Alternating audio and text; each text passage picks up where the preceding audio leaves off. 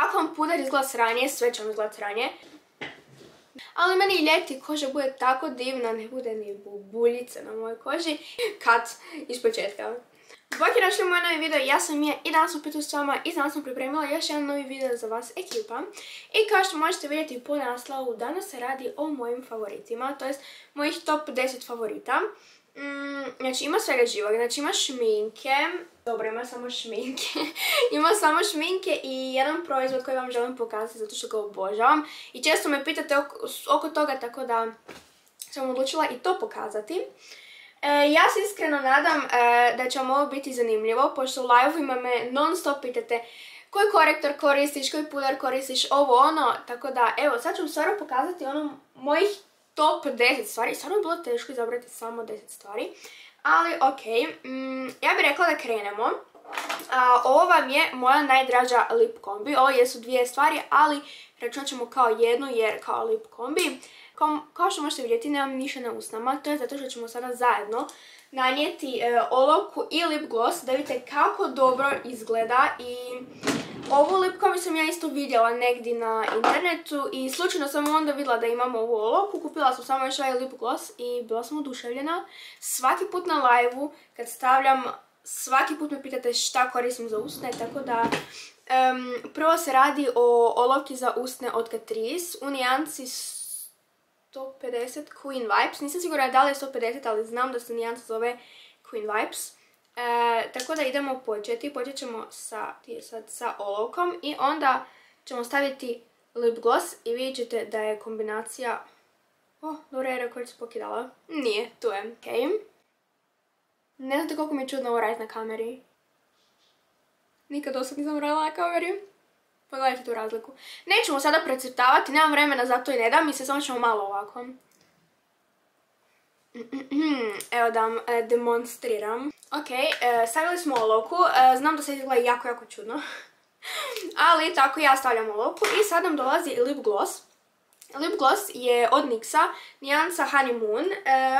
I sad ćete vidjeti kako ću to sve promijeniti. Koristim ga već negdje oko ima mjesec dana i pre... No i više od mjesec. Predobar je, pre, pre, pre.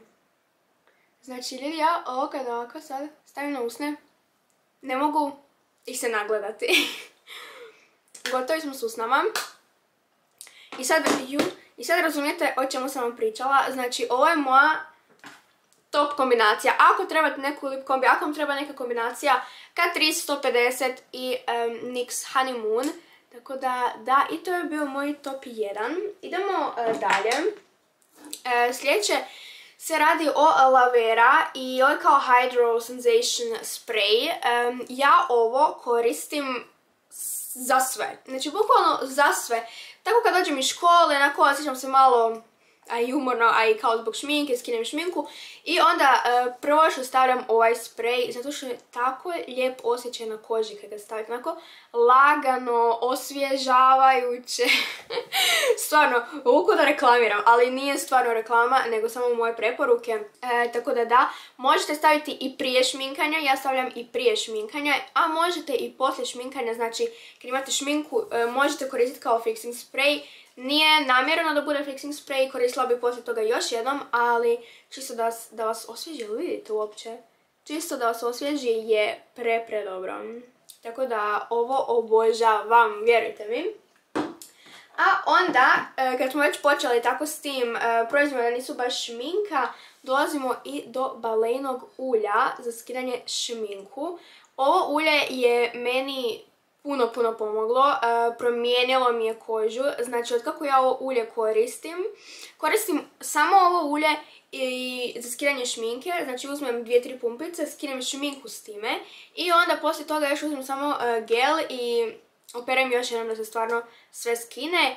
Puno, puno, puno bolje nego e, micelarna i vatice. Micelarne i vatice jako vam iritiraju kožu, pogotovo ako imate osjetljivu kožu ili akne. Vjerujte mi, ovo će vas spasiti.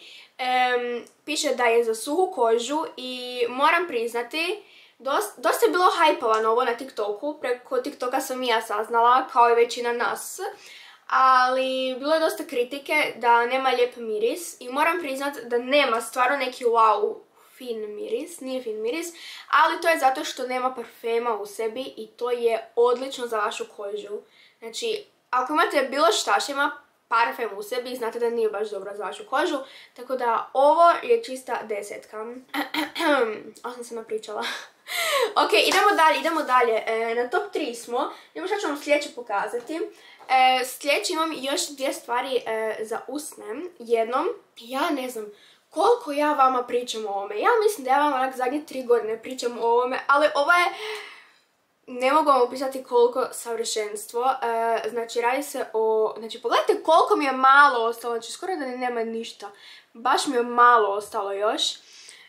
radi se o ovom Dior sjaju za usne. Imate ga u više nijansi, imate svjetlije više mi s kosom. Imate svjetlije, tamnije, ovo je kao čisti lip gloss, prozirni. I ljudi, kad stavite, na primjer, e, neki mat ruž i onda ovo... Predobro. I samo to kad stavite, isto izgleda predobro. Tako da moja velika, velika preporuka. Stalno govorim otiću uzeti novi, otiću uzeti novi, ali nekako da odem. E, tako da ću još iskoristiti ovo malo što mi je ostalo. I onda ću si otići po novi, zašto stvarno obožavam ovo. I koristim ga već jako, jako dugo. A kad smo već kod ruževa, imam još jednu preporuku za vas. A to se, a to se, ovaj put se radi o Maybelline ružu. E, ruž vam izgleda ovako i nijansa je, sad neću da slažem, ili je 67 ili je 65. Nešto, nešto sa 60 je sigurno. E, zašto ovoliko hvalim ovaj ruž? Zato što ljudi, ja nikad u životu nisam vidla da nijedan ruž traje tako dugo kao ovaj ruž. Ja taj ruž kad stavim, odem oprat zube, na, znači prvo sa micelarnom vodom pređem, ne skine se ništa. Odem oprat zube na večer, ništa, ruž još stoji. I onda ujutro kada operem zube, tek tad se počnem malo skidati. Tako da, ljudi, ako trebate neki ruž koji će vam trajati cijeli dan i cijelu noć, to je ovaj ruž, vjerujte mi. A i da, jako mi se sviđa nijanca. Baš me napravio kako za ljeto. Ja sam ovaj ruž cijelo ljeto nosila. Svaki dan cijelo ljeto. Tako da, obavezno, ako trebate neki ruž, preporučujem. Maybelline. E, idemo dalje, kad smo već kod Maybellina, ajde da nastavimo sa Maybellinom. A sad se radi o ovome puder u kamenu, e, znači meni je jednom prijateljica bila i pitala me kao mogu samo kratko puder za kamen? I ona kad je stavila ovaj puder, ona je rekla Mija kako je ovo čudo, šta mi se dogodilo s kožom, ali da, stvarno. Znači imate ovako i od ispod još dobijete, imate ogledalo i dobijete ovu kao spužvicu, da ja ovu ne koristim jer je jako prljava, ne da mi se oprati, tako da koristim četkicu i stvarno je predobro. Znači jednom prođete samo četkicom na lice i to je to. Ja ovaj puder u kamenu već imam sad negdje oko dva mjeseca, ne više, više. Nije od ljetos, negdje od 11. mjeseca i stvarno nosim ga svugdje sa sobom, u torbi za školu, kad idem van u torbi, u džepu, u jakni, svugdje. Tako da velika, velika preporuka ako tražite puder u kamenu.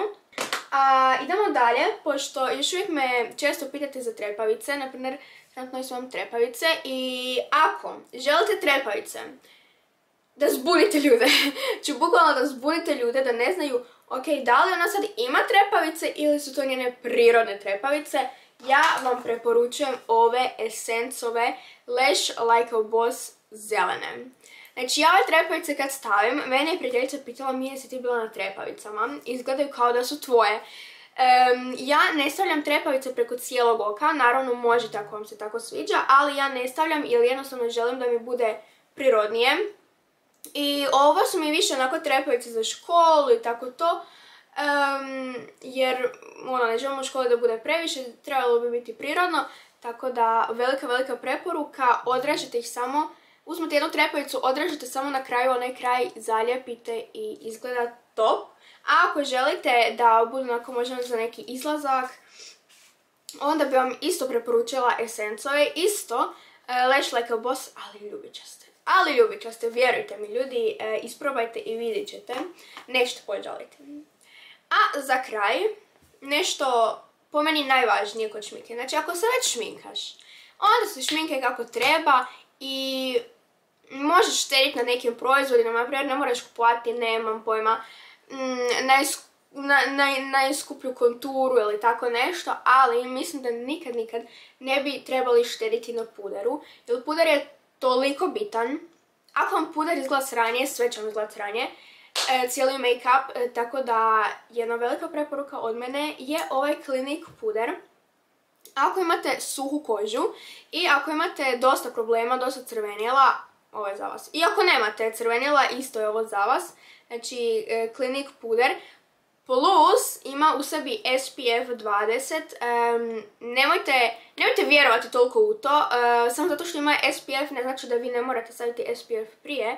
Morate staviti još jednom SPF jer to je zapravo jako, jako malo SPF-a u puderu.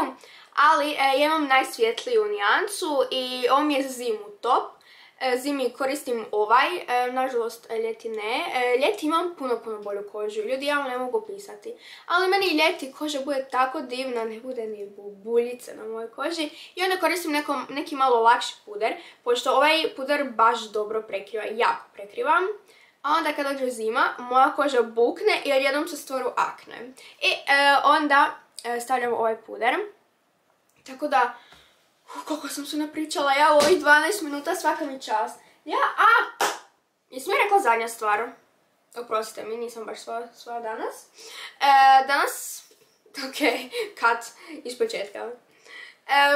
sljedeća stvar je, radi se o Balea Med kremi.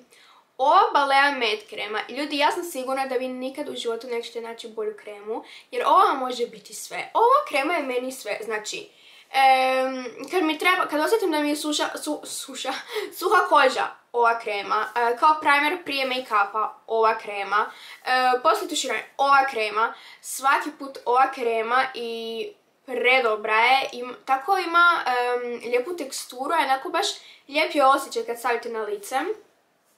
Plus, krema je bez parfema, već smo pričali o tome, i e, nema kao nikakve boje u sebi.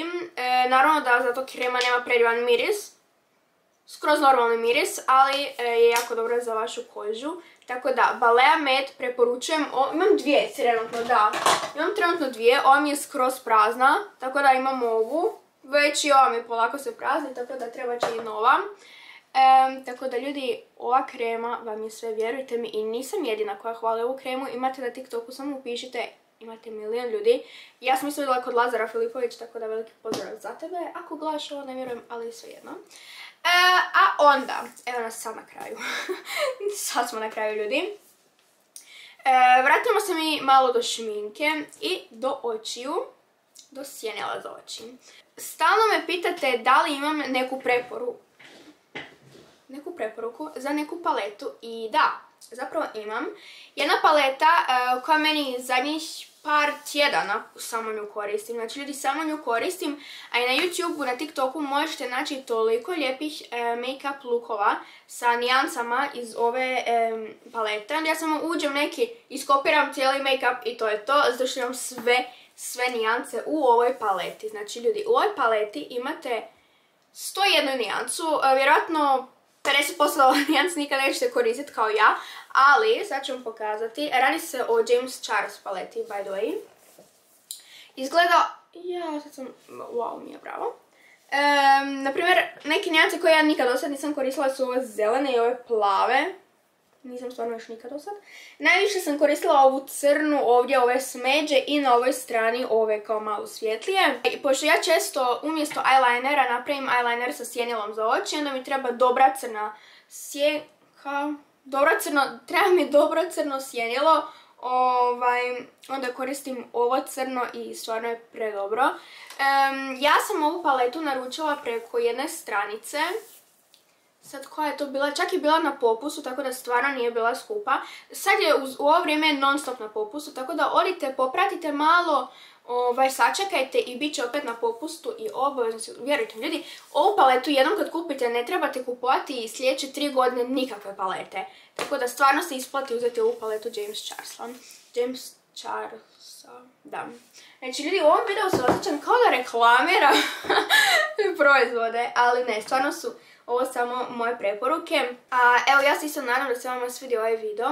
Ako je, obavezno ostavite jedan veliki e, like. Nemojte zaboraviti e, se preplatiti na moj kanal e, kako ne bi propustili vide. I svako ako imate još neku ideju što bi mogla snimati ili možda što vas zanima, Obavezno mi to pišite u komentare. Zapratite me na TikToku. Na TikToku se zove mm.mija donja crta. Nikad se to neću zapamtiti. A na Instagramu se zove mm.mija1. Tako da eto ljudi, puno puno hvala što ste bili do kraja ovog videa i mi se vidimo u sljedećem videu. Bog!